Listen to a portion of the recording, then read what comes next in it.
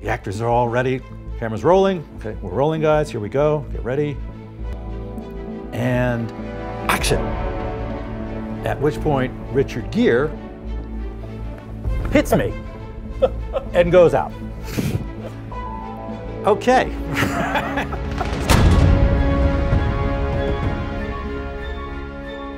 the job of the AD is, uh, well, the short version is you run the set.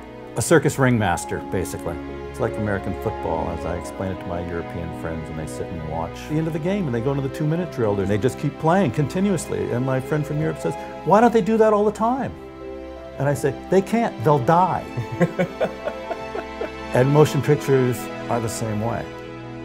So a lot of people's perceptions when you say assistant director is assistant to the director. But of course, yeah. it, it, there's a lot more to it than that, isn't yes, it? Yes, yes, there is. When you read something, you just, it's in your imagination. What does this person look like? What is that? What, it's all in your imagination. Now we're going to realize it. We're going to focus it. He has to go through and deconstruct every scene. I mean, you got to know what they're about. De, De, Niro is a meticulous worker. He puts his hat on and he looks, mm -hmm. and then he goes like this, looks at his fingernails. And then he goes like that to the makeup man, takes out a, an eyebrow pencil and starts putting dirt under his fingernails. Well, we're shooting 1912. Sanitation wasn't like it was. And yet the shot was De Niro coming out the door of the Abbandando grocery store with a box on his shoulder, walking down the street, and walking across the street. Which is a shot that took us most of a day to do.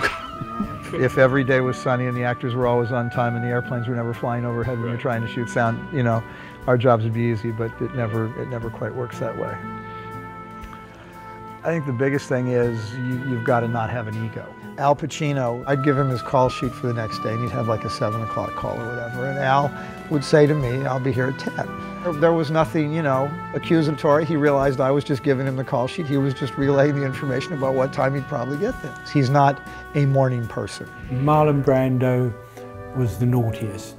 Marlon Brando would, would write his lines on the forehead there just because he could. And AD is the oil that makes the engine work. You are the responsible person who says the camera can turn. As an assistant director, you have a lot of knowledge that you have to take with you to your grave. So moral of the story is be nice to everybody. No, the moral is make your own coffee. it is as easy as you want to make it, even when it's challenging. How do I help tell the story that somebody has offered me to help tell.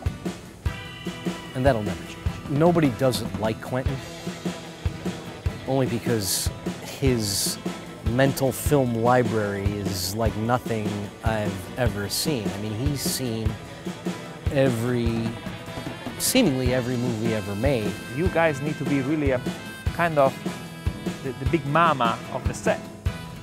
The Big Mama. I've done those movies too. You didn't list those. I actually enjoy that moment where uh, you're there and it's a new, something new, a new problem, a new solution. I've never seen that before.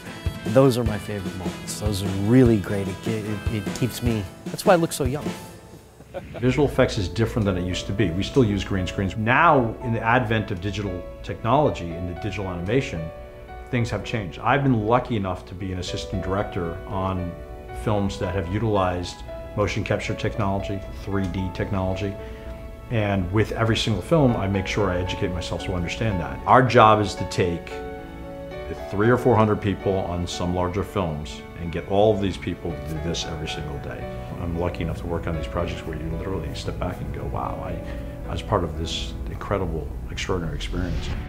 However we get the image on the film, we may not be able to talk about afterwards, but we're going to do it and it's going to be great. It's not to say it's not very difficult sometimes and heartbreaking sometimes. Um, because it's a life, it's not a job.